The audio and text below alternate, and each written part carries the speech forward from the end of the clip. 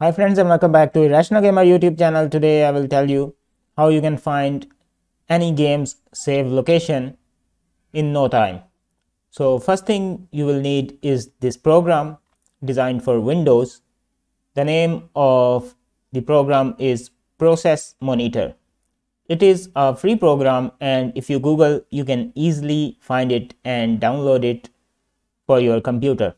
After you have downloaded it just run the exe file. I am on Windows 10 64-bit, so I will choose the process monitor 64.exe file.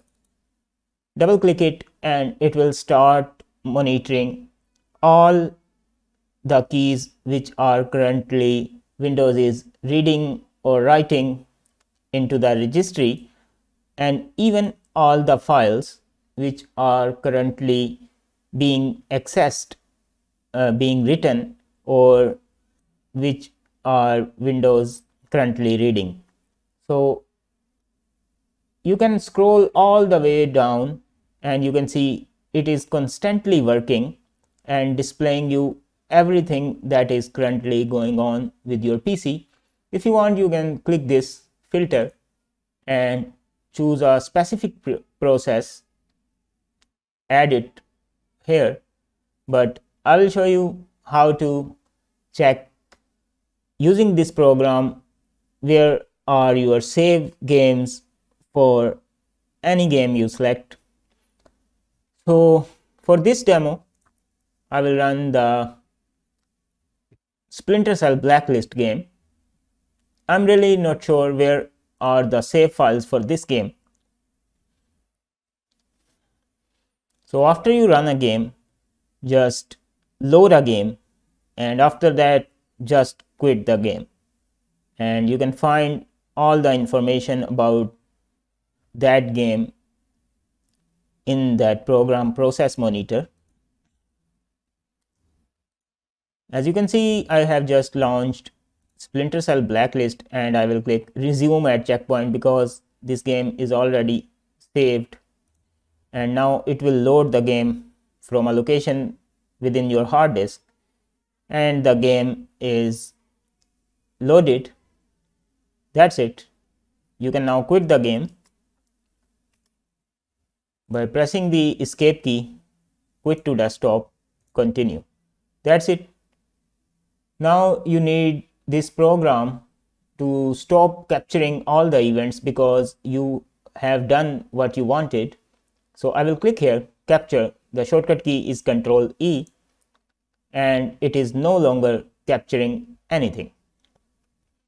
Furthermore, you can also disable the auto scroll feature or enable it by going to the options of this program. But right now, let me just show you what actually happened with the Splinter Cell blacklist and where are the save files for Splinter Cell blacklist. We need to find the process here. Here it is blacklist directx11 underscore game.exe and as you can see this game has read and written so many keys into the registry itself but we want to file we want to find what files it tried to access. So as you can see here, blacklist directx game.exe created file in this folder and etc etc. So if you want, you can right click the game process and click include blacklist underscore dx11 dot and uh, game.exe. So whatever game you are running, just right click on its .exe file process and then choose include the game name .exe and what that would do is it will filter out all the other processes. You can see all the way around here. So you don't have to go all the way and find one by one so it will take some time and after it is done I will show you the processes blacklist game used and whatever files it tried to access and whatever files it tried to write. Okay, so the filter process is done. So we have only the game processes and file monitoring list here. I want to look for the C drive and that's where my Windows is installed.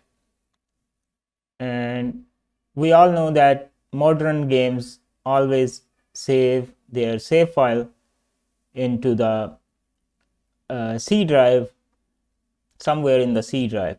As you can see here, the game goes to C users, my username, documents folder, Ubisoft blacklist folder. So I will right click any of these and click jump to and that will open that folder. So here's the path for this game's save file. This is your save file.